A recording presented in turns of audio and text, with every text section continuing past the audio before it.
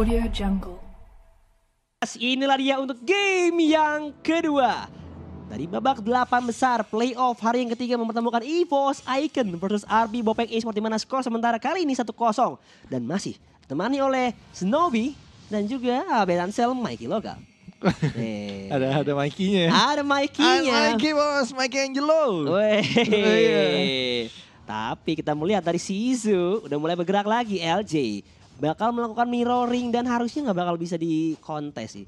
Karena sudah secara tidak, tidak langsung ya diusir Mm-mm. dari zona teritori milik EVOS Icon. Ya, at least dia ngasih presence sedikit, eh, ngeganggu sedikit biar si Pakuitonya ngasih dapat space-nya. Tapi ini nggak berujung panjang juga buying time yang dikeluarkan oleh Sa- eh, Saizu ya. Karena melihat juga dari EVOS Icon udah mulai rapat pertahanannya dari segi pertahanan dan bahkan lu lihat Uranus versus Glue sampai ditahan imbang dan di atas kali ini dari CH langsung digempur habis oleh Wah, dua pemain dan ini bakal jadi first blood. Yes, jadi first blood tapi gak semudah itu untuk kabur karena melihat ada Tony juga dan juga LJ yang mencoba untuk mendapatkan trading kill dan ternyata tidak berhasil di sana. Wow, wow, wow. Itu sure dive in ya dari Rusi dan juga seorang Saizu melihat CH atau Cakim yang udah bertengger memeluk dari area turret plus nyawanya yang sudah sangat sekarat membuat dari Arbi Bopeng dapat yang first blood di menit yang pertama bahkan di area tengah udah ada sing sing sing. Bahkan Vanguard juga masih bisa menutupi dahulu terkena stun dan langsung dihilangkan dengan ketokan mematikan dari Saizu Pasti dia menjadi korban jiwa bahkan lihat B-Boy pun datang ke area pertengahan tapi nampaknya tak bisa di pick off nyawa dari seorang Tony. Ini kayaknya Saizu pulang-pulang bawa pamflet, bikin pamflet. Ya. Ada yang ada yang rusak, Eh? saya ketok. Weh, menerima jasa ketok. Nah, ketok magic. Ya. Aduh. Sekali ketok langsung diperbaikin. Nah itu sekali ketok nyawa melayang. Nah itu dari Saizu ya. Moto hidupnya yang sangat mengerikan tapi pulpen naga. Bakal bergerak juga pengen cutting lane. Karena sudah ada turtle yang hadir. Nah ini dia baru dibahas.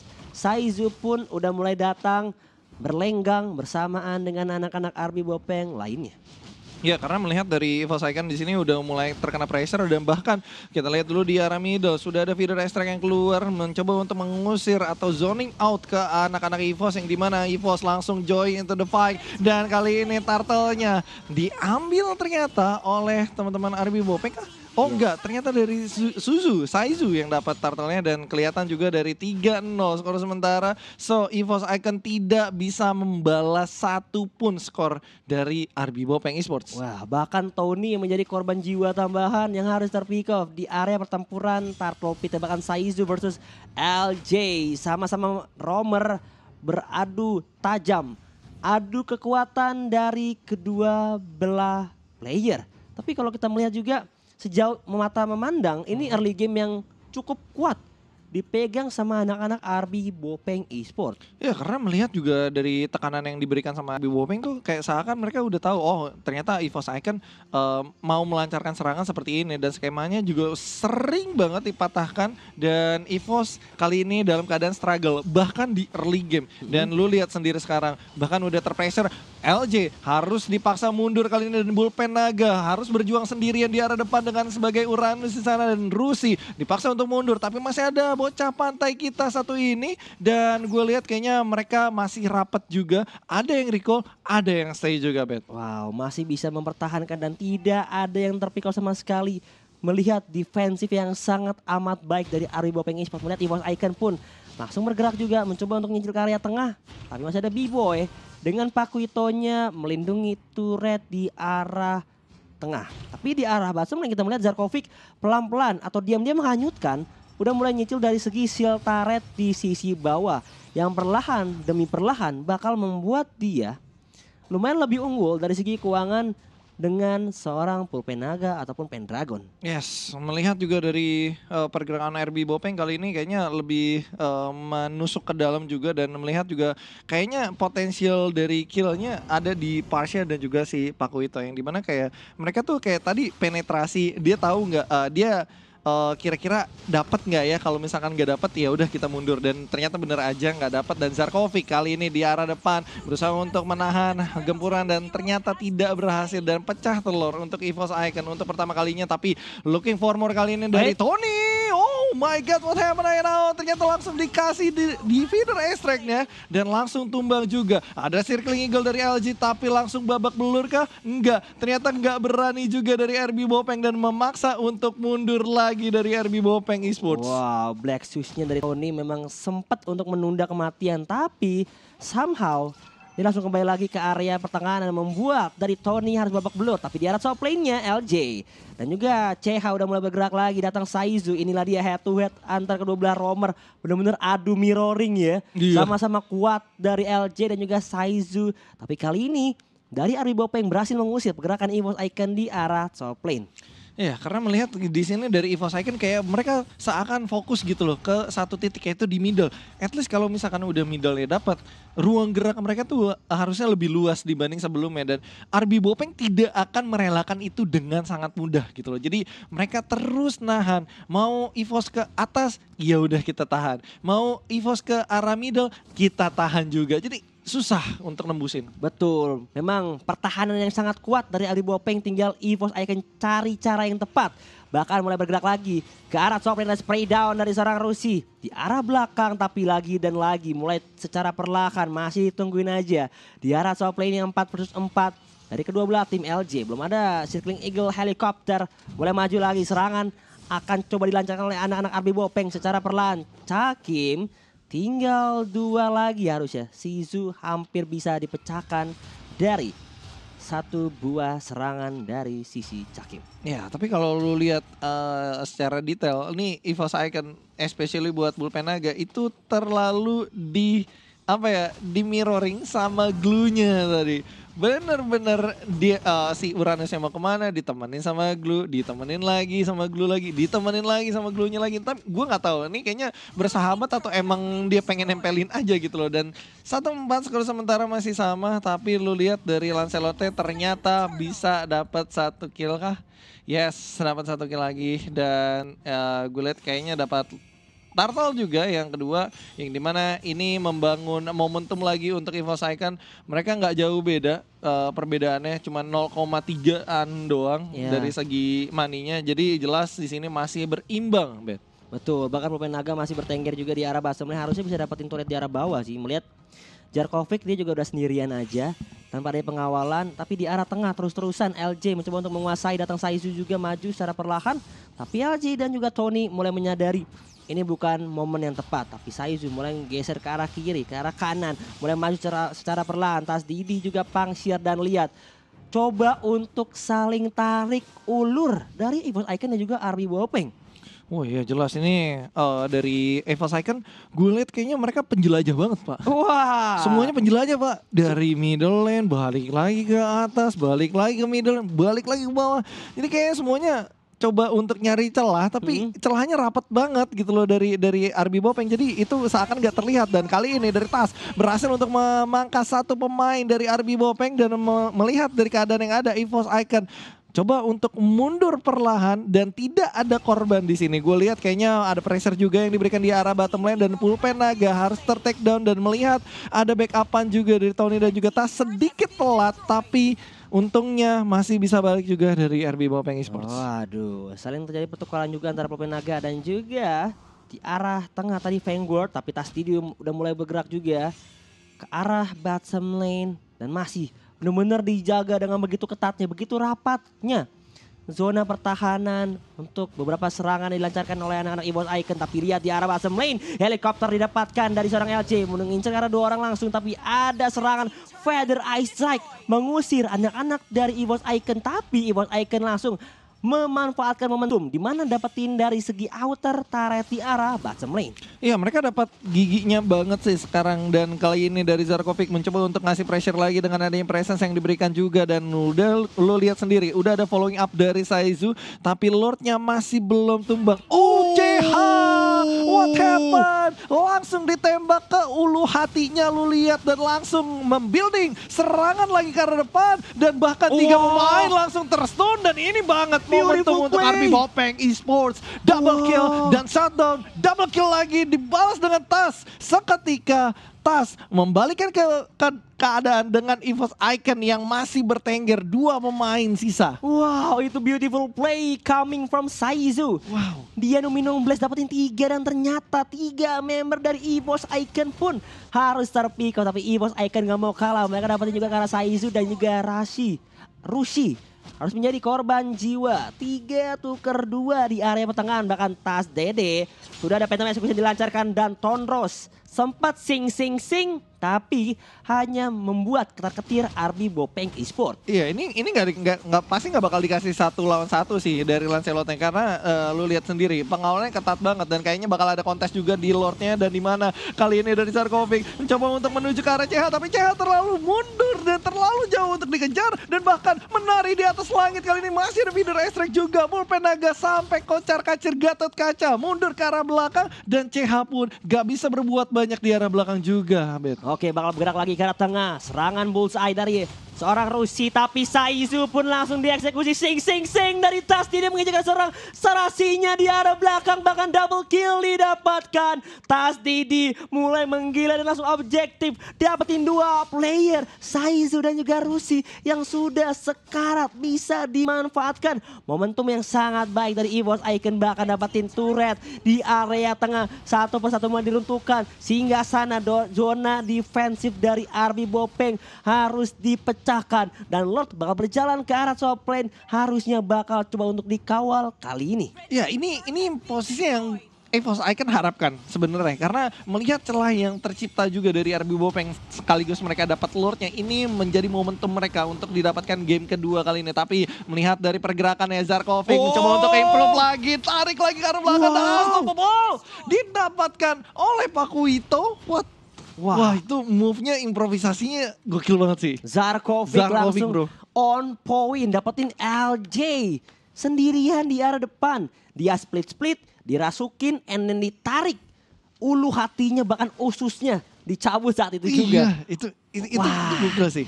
Wow. Itu itu gue kira Eh, improvisasi dari RB Bopeng karena eh, melihat juga keadaannya memang harus improvisasi dan Bullpen Naga kali ini langsung digempur dengan empat pemain plus juga feeder Estrek dan melihat juga dari Tony langsung nge-backup ke arah tengah begitu pula dengan tes tapi jangan terlalu offset karena sekali lo offset sudah ada regu tembak ya di arah belakang juga seperti Rusi tadi tiba-tiba CH gue kaget langsung one hit one kill bro Instantly dead ya. Dari seorang Cakim, tapi lihat udah mulai bergerak lagi di kontes dari segi purple buff-nya. Rusi benar-benar jadi incaran tapi masih bisakah? Harusnya tadi diamankan sama seorang B-boy. Oh enggak. Kita masih belum kelihatan ya. Enggak ya. kelihatan belum belum Iya, tapi yang pakai retribution karena tas Didi nih. tas Didi Berarti harusnya tadi dia makan sama tas sih. Mm-mm. Harusnya ya. Harusnya skemanya kayak gitu. Tapi ya melihat dari RB Bopeng nih kayaknya nggak mau kalah. Ya. Karena eh, memang dia terpressure gitu loh dengan tidak dapat lord dan beberapa turretnya juga sudah hancur dan Oh. terlihat juga oke ada feeder Esther kali ini langsung dikeluarkan begitu saja tapi melihat dari tas posisinya agak bandel ini hmm, kalau sedikit offset kayaknya langsung digempur sih langsung Ya. di pick up habis deh kayaknya. Langsung dimaksimalkan ya. iya Momentum karena nggak datang dua kali. Mm-mm. Yang datang dua kali hanya pendaftaran di awal. Aduh Iya. penyesalan belakangan Iya, Ya. betul. di di depan tuh pendaftaran. Pendaftaran. Yes, inilah dia.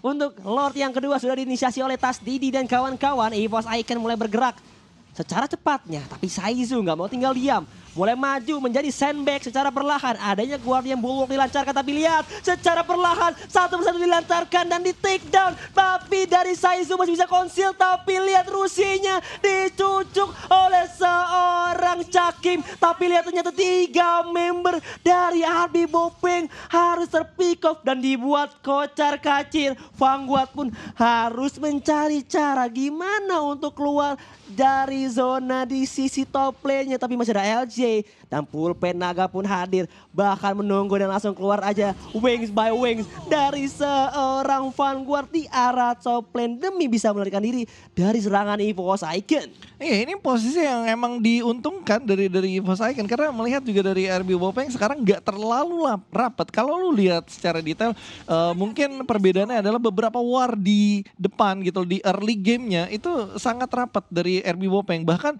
pelan-pelan itu ditempelin satu persatu member dari EVOS Icon. Tapi sekarang mulai terlihat agak renggang RB Bopeng dan saat itu terjadi, EVOS Icon memaksimalkan keadangan dengan sangat baik juga karena melihat um, mereka harus menang. Ini last chance mereka untuk bertengger di turnamen ini. Kalau mereka gagal atau sedikit ada mistake, ada mistake di sini, mungkin mereka harus pulang sekarang. Oke, tapi udah mulai maju lagi Lordnya ke arah top lane Naga. Secara perlahan bakal menjadi sandbag Nah semua damage output dari anak-anak Abi Bopeng Esport udah mulai secara perlahan maju ke arah sisi top lane. Sisi tengah pun menjadi next target dari EVOS Icon secara perlahan dicicil satu persatu turretnya bahkan harusnya belum bisa didapatkan. Masih bisa dipertahankan oleh anak-anak RB Bopeng Esport walaupun udah lumayan sekarat mm-hmm. turret di sisi tengahnya.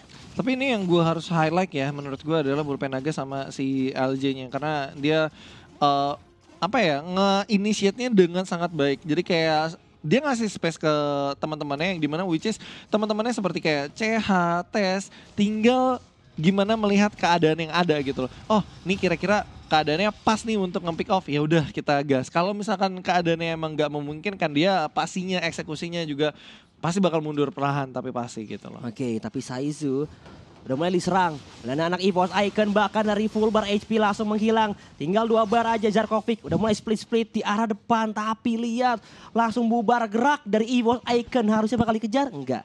Dan memilih untuk mundur dan lebih bersabar lagi. Karena udah dapetin objektif tambahan yaitu purple buff dari RP Bopeng Esport. Ya, melihat juga di sini nggak bisa berbuat banyak juga dari RB Wopeng dan kali ini langsung di pressure abis-abisan. Feeder Estrek langsung keluar begitu saja dan menurut gue ini adalah momentum yang pas untuk EVOS Icon melancarkan serangan karena tidak ada uh, feeder Estrek yang jelas untuk high groundnya defensifnya agak sedikit kacau dari RB Bopeng. Betul. Tapi permasalahannya kalau mereka masuk secara sembarangan bisa terkena punishment juga Betul. bahkan lihat Cakim mulai terkena serangan sniper dari Rusi yang dia bisa dibilang cukup mengerikan. Dia punya aim, tapi lihat, oh tidak terhubung dua kali dan ternyata sudah ada stiker lemon. Biasa aja. Biasa uh. aja. bro.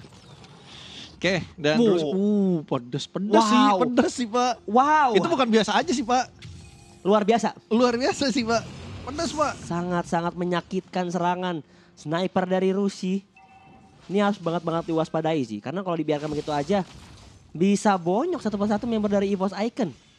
Betul yang di mana kayaknya Lordnya sudah respawn juga yang tandanya EVOS. Kali ini kesempatan kalian My Time is now sekarang dan Suzu Saizu kali ini langsung ditempelin abis-abisan oleh CH walaupun masih ada immortality tapi langsung menari di atas udara. Mencoba untuk mendapatkan Rusi tapi Wah, gagal. Boy. tapi lu lihat kali ini dari EVOS benar-benar ngontrol situasi Wah. yang ada. Lu lihat dari RB Bopeng harus mundur perlahan tapi pasti demi keselamatan mereka masing-masing. Oke, tapi Jarkovic menjadi korban langsung ditusuk saja oleh anak-anak EVOS Icon membalaskan kehilangan Lord yang didapatkan oleh seorang B-Boy dengan retribution yang sangat-sangat on point.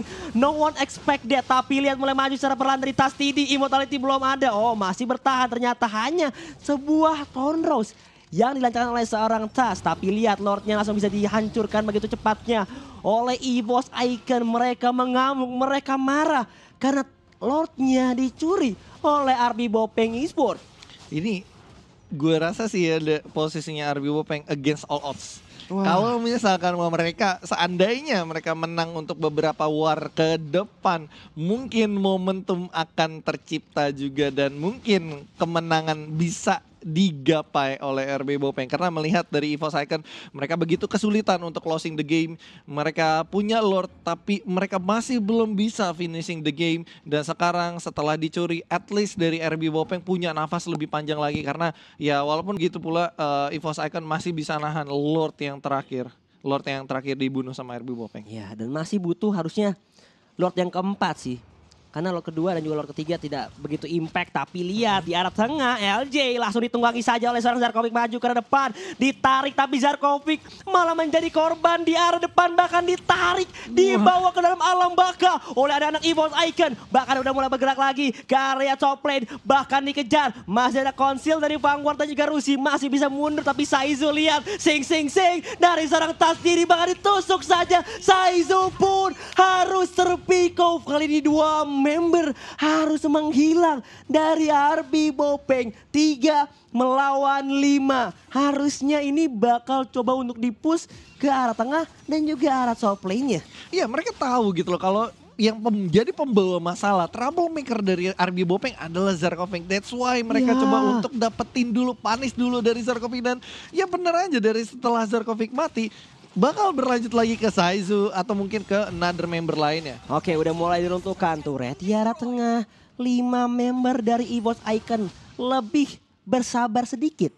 Karena 30 detik Lord juga akan hadir dan Zarkovic sudah spawn kembali. Menunggu kalau misalnya dipaksakan tadi, Saizu juga bisa datang di momen yang tepat. Ya. Tentunya bakal menjadi momen yang sangat mengerikan kalau EVOS Icon paksakan. So that's why mereka lebih memilih, yaudah kita sabar dulu aja, kita reset lagi, dan masih ada Lord yang keempat. Betul, tapi ya balik lagi di sini menurut gua kalau yang gue lihat sih eh, dari ekonominya nggak begi kalau misalkan jauh sih jauh gitu loh. Tapi gua nggak nggak begitu melihat itu bakal jadi pengaruh banyak gitu loh untuk fight fight yang berlangsung nantinya. Karena melihat semua sudah 15 semua jadi gue rasa tinggal momentumnya siapa yang menunjukkan yang lebih terbaik. Mungkin bisa dapat game kedua dan kebetulan Lord sudah respon. Pastinya ini kayaknya di kontes. Oke, harusnya bakal di kontes, bakal di fight. Tapi Zarkovic di arah depan lumayan menerima beberapa serangan mematikan dari EVOS Icon tapi udah mulai tercici pelan-pelan. Ada split-split dilancarkan. Kali ini Feather Ice Strike dari seorang Vanguard. Di arah belakang cukup free bahkan Dominon Blast. Tidak ada yang terhubung tapi lihat dapetin satu. Karena seorang pulpen naga dari Zarkovic ditarik kembali ke arah belakang. Zarkovic bisakah terjadi kembali? Dan ternyata ada crossbow uh. dari seorang Caki mengincar Rusi. Bahkan satu besar ditumbangkan. Dan ternyata lihat tiga member menjadi korban jiwa. Dan lihat B-Boy pun ditumbangkan kelar sudah menyisakan seorang Vanguard di arah top lane dan lihat Saizunya harus melarikan diri memancing keributan tapi Tony mengejar hingga akhir hayat tapi game yang kedua didapatkan oleh EVOS Icon. Luar biasa performance dari EVOS Icon. Wow. Karena lu lihat sendiri dia